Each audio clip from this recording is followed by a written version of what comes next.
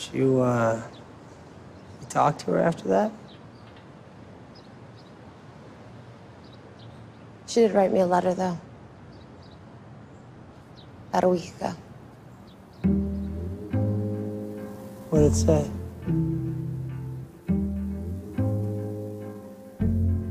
Things actually aren't bad here. Food's okay.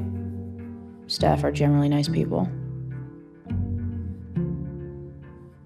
The therapists have been working with me to fill in my memories of those missing hours. And it's kind of a fun exercise. I can tell them fucking anything and they'll just write it down and nod.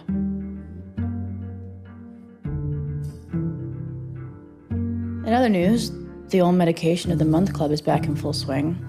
And the latest ones are making me sleep 14 hours a day and dream constantly. You're in a lot of them. And one of the recurring ones, we're in your living room and I've just drank your drug screwdriver. And you're screaming, asking me why I did it, asking me why I have a horse's head instead of my face.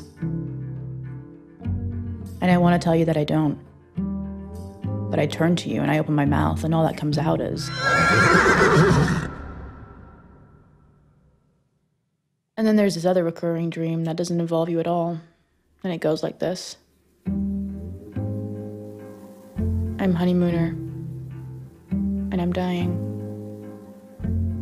And I rise out of my body, and I'm staring down at our whole suburb, and time is speeding up. And you see generations of people coming and going and building bigger houses.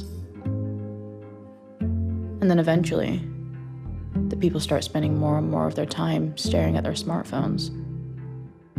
And soon enough, they're forgetting to clean their houses, or mow their lawns, or eat. And eventually, all the houses rot and collapse, and the people disappear, vanishing completely into the internet.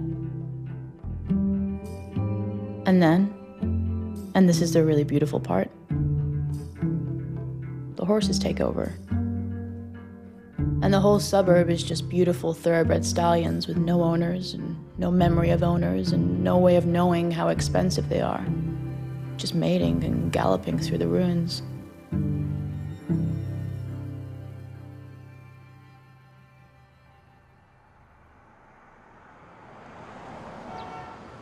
What did it say?